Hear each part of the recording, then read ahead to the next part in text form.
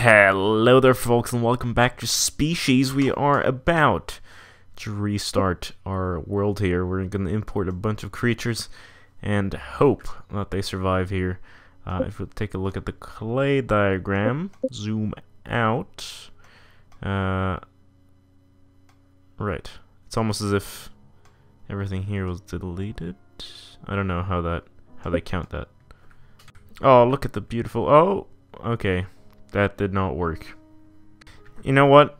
As we import these people, I think it was pretty warm, so we're gonna cool off this world here and uh, see what happens. Because I think, if I remember correctly, these guys evolved uh, when it was pretty cold on our planet or our, our last map. Oh, these guys might actually survive. It's a bit warm here, but uh, they seem to like water because they have gills after all. We evolved these uh, in the water last time, so we'll see if they uh, if they make it through. Yes, they're doing okay. This is great. This is fantastic. In fact, I'm just gonna raise the water a little bit more. It's kind of interesting to just stare at the map here. You see that some specimens they always wander out, but they do not seem to make it very long.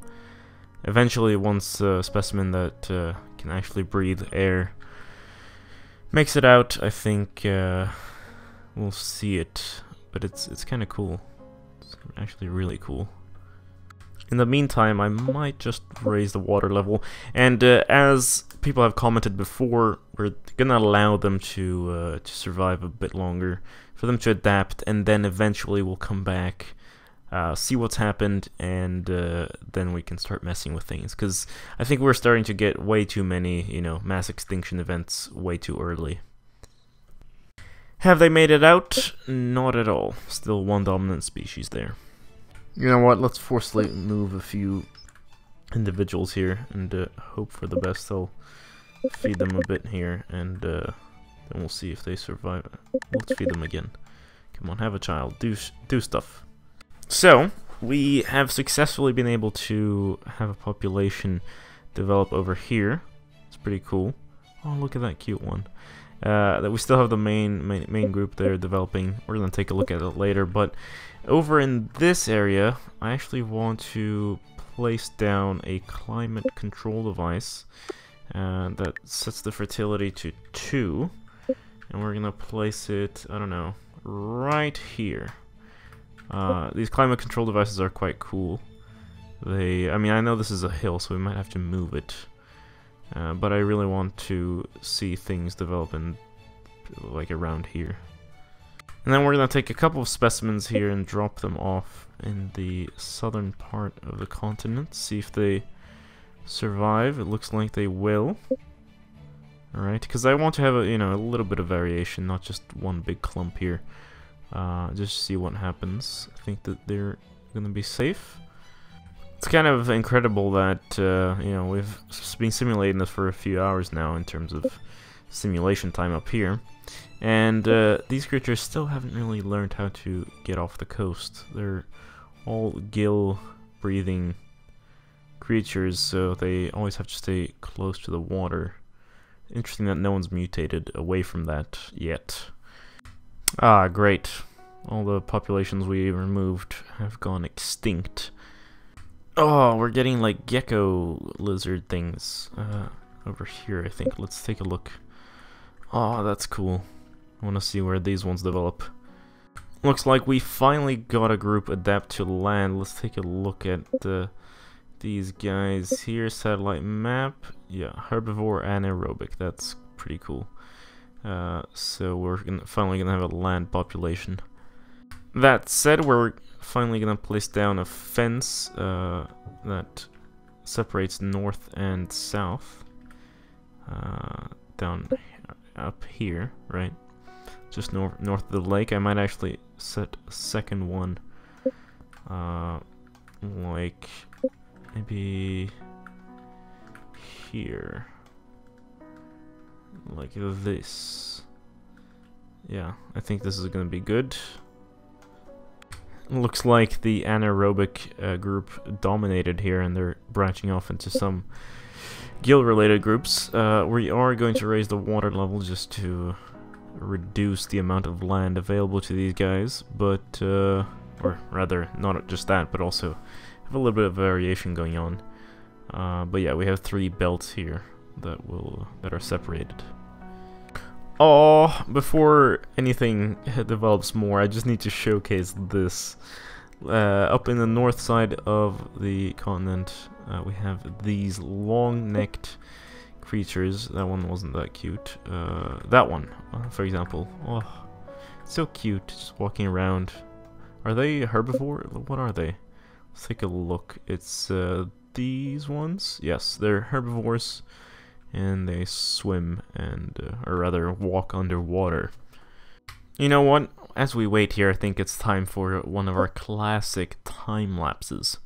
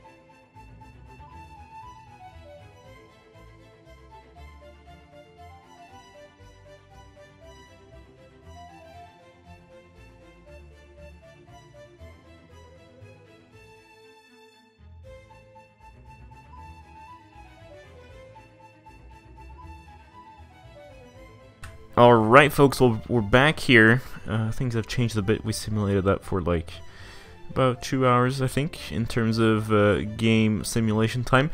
Uh, now, I got a little bit worried. I actually only stopped that thing there because I saw that the population history showed that one of the population's uh, groups was actually dead. As we can see here, there's only these two branches, uh, which really, to me, means that we lost a group, and uh, look and behold, the middle belt is completely devoid of life, which is quite unfortunate. So what we're gonna do here is uh, definitely import a few creatures. Hopefully this one will survive. We'll feed it, and then uh, they will have children, and that will uh, spread a, a new population will spread throughout this entire belt here. If they make it, of course. Uh, I might have to spread them out a little bit more. Maybe for fun here, we can have uh, a little bit of a competition uh, between the these two species, the northern group and the southern group. Oh, okay. Those don't even make it through there. Uh, what about placing you hmm, here then? Yes. Make it, come on. What? How are you not making it? Did the child make it? Yeah, I mean, there's one specimen there that uh, seems to have made it, and the southern group did not seem to flourish over there, so we're gonna leave them alone. No, okay, that little child also seems to have died. Let's, oh, autosave, and let's place you over here, come on. Here's some food, and go ahead and survive here in the northern part. Congratulations.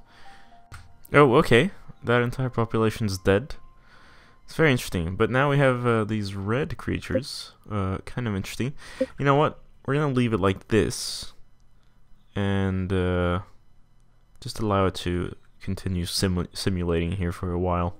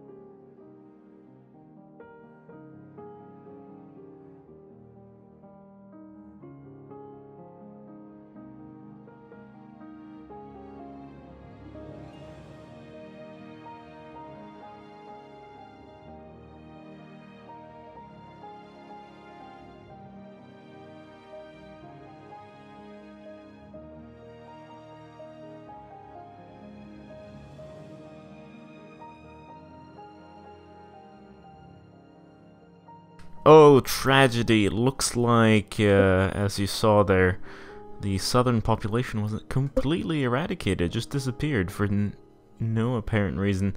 Um, this means we do have to make some changes. We do have uh, significant differences here still, though. If we take a look at the clade diagrams, let's zoom out all the way. I mean, we started all the way up here today uh, by inserting these new members. Then we've moved all the way down. We could see three branches. I think the first branch died off somewhere here. Then the second branch just died off here. The red ones, um, they were pretty cute. Uh, but now we have uh, these guys uh, down here. Uh, they're not very unique. They're pretty cool though. But uh, yeah, they are all gill they all have gills though, so they always have to stay close to water. I think uh, we're gonna have to do some changes here. The first one is going to remove the be to remove the fences. They've been nice, but it didn't really work out as expected once those populations died off. And uh, yeah, we might have to do some more changes. I don't know what those changes are gonna be though. I'd love to hear your comments down below. I think this will have to be it for this episode. We'll see what happens in the next one. If these populations will survive, they'll flourish. And uh, if we will do something crazy with this world. Thank you so much for watching. This has been Game Gabster playing Species, Artificial Life, Real Evolution. I'll see you later. Farewell.